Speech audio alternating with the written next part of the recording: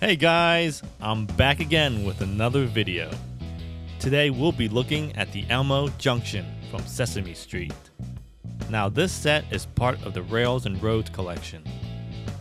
Here's the top of the box. Elmo Junction 2-in-1 car and train set.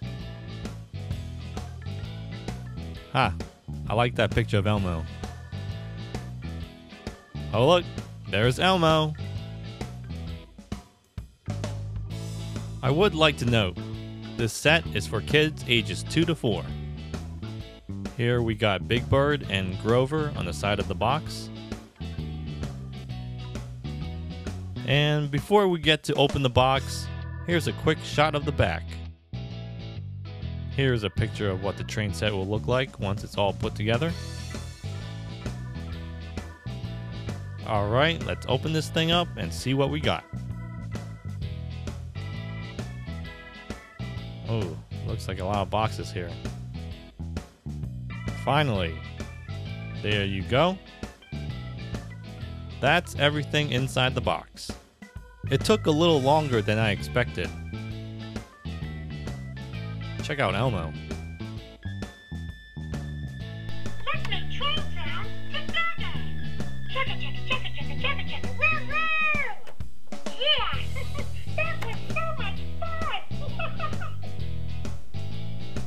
Now this is everything set up.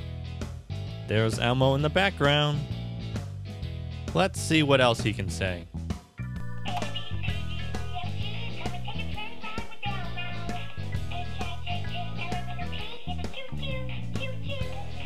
I'm just gonna give him a little push.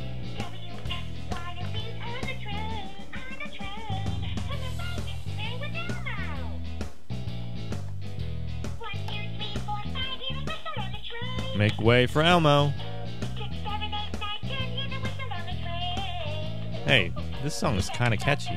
14, 15, 16, all aboard. 17, 18, 19, 20, hear the whistle on the train.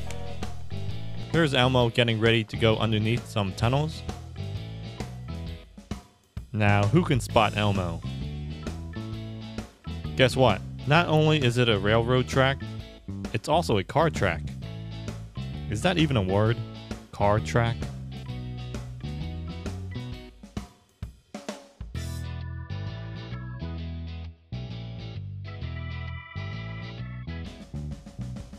All you have to do is attach an extra piece of road here and you're ready to go. There's your new slide. Here's Grover. Unfortunately, he doesn't sing like Elmo. Let's get him to go up the slide.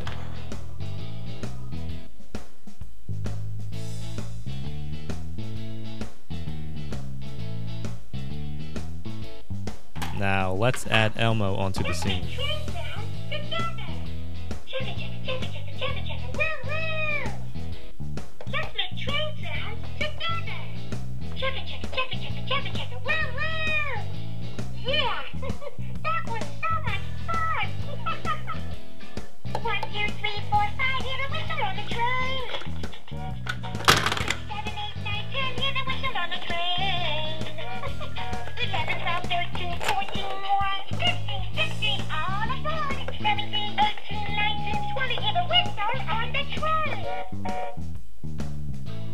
Here's a close-up shot of Elmo.